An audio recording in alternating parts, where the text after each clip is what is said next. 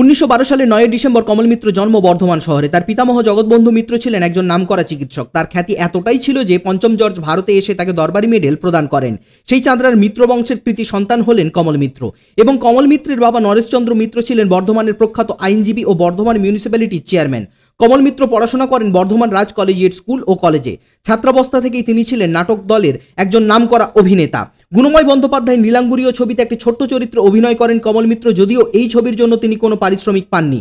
নীলাঙ্গুরীয় তার জীবনের প্রথম ছবি ধরা হলেও উনিশশো তেতাল্লিশ সালে দেবকী বসুর শ্রী রামানুজ ছবি দিয়েই তার চলচ্চিত্র অভিনয়ের যাত্রা শুরু। গুরু অম্ভীর গলা নায়ক নায়িকার প্রেমের প্রশ্নে রীতিমতো খারাপ বাবা বা জ্যাঠামশাই, কিন্তু বাস্তবিক বা ব্যক্তিগত জীবনে কমল মিত্রের মতো স্নেহপ্রবণ মানুষ খুব কমই ছিল।